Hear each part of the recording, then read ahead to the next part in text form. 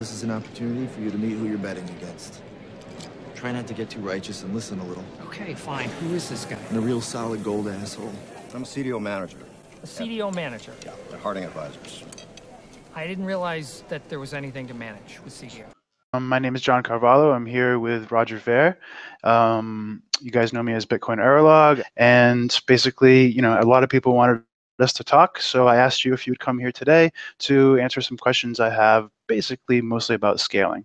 Okay, I'm I'm promoting Bitcoin Cash. If I it's not an insult. Why do you have to take it personally? It's just a name. I actually like it better. Insulted here. I'm being insulted. I don't need to be insulted by you. I, I have enough money. I was a self-made multimillionaire before I ever got involved in Bitcoin. I don't need to have my buttons pushed by people like you on the internet. It's Bitcoin Cash. Roger, the only reason you want to call it Bitcoin Cash is because you want to co-opt the brand.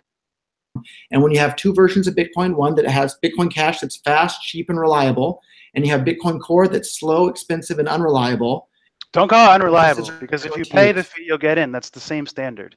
If you pay the fee, you get in. Um, the question is, is that people are willing to pay a higher fee on Bitcoin because it is more valuable and more secure. So I've been paying a higher fee on Bitcoin Core because uh, that's what it takes to get my transaction to an exchange, so I can sell it for more Bitcoin Cash. So do you uh, still have Bitcoins? Some Bitcoins, yeah. Why?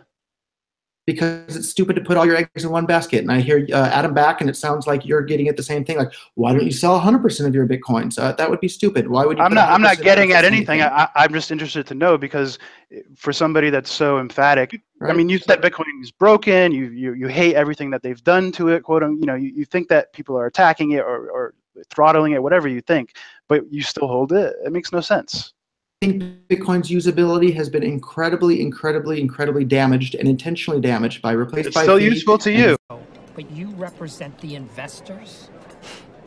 Is that right? Yeah. But we're not in the Merrill Lynch building. Okay. Where we're are in you? New Jersey. You're 20 minutes away.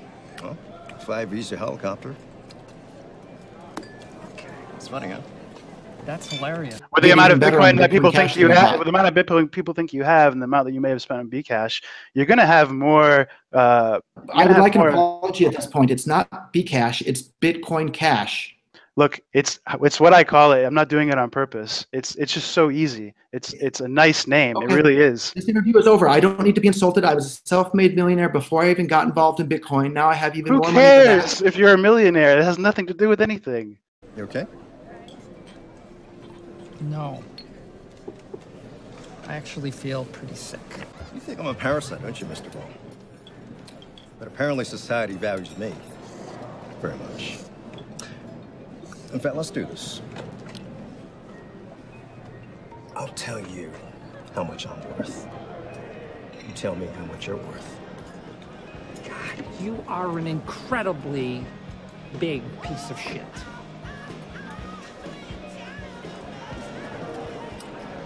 I don't need to be insulted by some person on the internet. What's your gross annual revenue for Exotica? None of your business.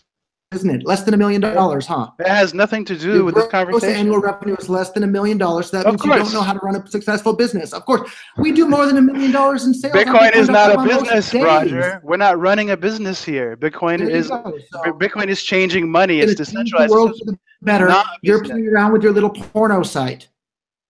What's wrong with the porno right. Uh, site? You don't like you don't you have a problem with sex now? Difference. I'm trying to change the entire world for the better by giving every single human being on the planet the ability to have complete control of their own finances. And you're here insulting what I'm trying to do, calling names and calling my projects names, and then you don't have any real world.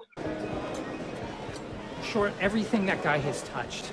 I called it literally a name, not an insult. And now you're the one trying to insult me for the type of work that I do. Yeah, I see nothing wrong with sex. I don't think it's okay to insult people, right? If I started calling your website, I don't, which the no, correct no. pronunciation is Exotica, if I started calling it Stupotica, you would take offense to that. Uh, where where is yeah, but you, you're adding the word stupid in there. Where did I add an insult when I say Bcash? I'm just abbreviating to make it easy to say.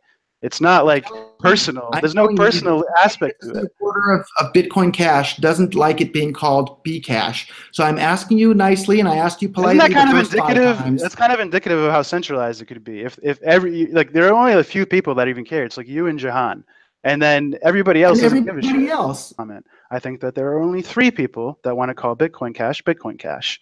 You and Jihan and your sock puppets. Okay, because there's there's nobody Goodbye. else. I've never hired a single sock puppet. I don't need to be insulted.